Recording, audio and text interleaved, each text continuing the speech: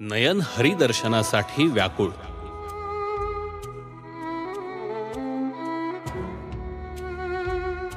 भरूच गुजरात. पाच जुलै दोन हजार अकरा.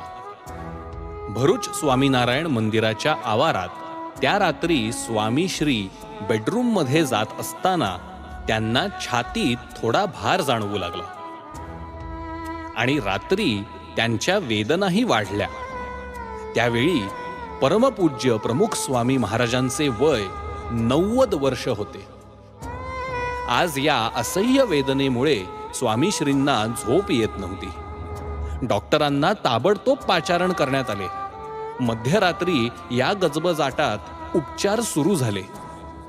रात्री साडेतीन पर्यंत चाललेल्या या प्रयत्नांनंतर स्वामीश्रींना थोडी विश्रांती मिळाली. स्वामीश्रींना वयाच्या नव्वदाव्या वर्षी पुन्हा एकदा हृदयविकाराचा झटका आल्याचे सेवक आणि संतांना डॉक्टरांकडून समजले.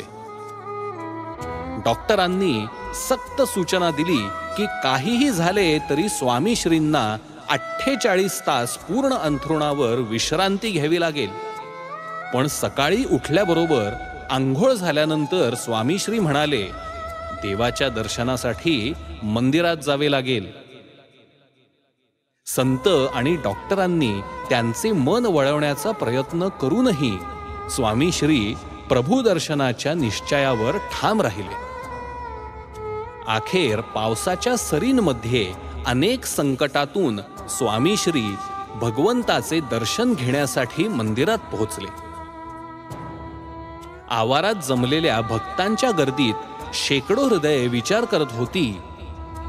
हे संत असे आहेत की हृदयविकाराचा झटका आल्यानंतरही आराम करण्याऐवजी ते पोहोचले देवाच्या दर्शनासाठी. ज्यांचे स्वतःच्या शरीरापेक्षा जास्त भगवंतावर प्रेम आहे तेच महापुरुष असे करू शकतात.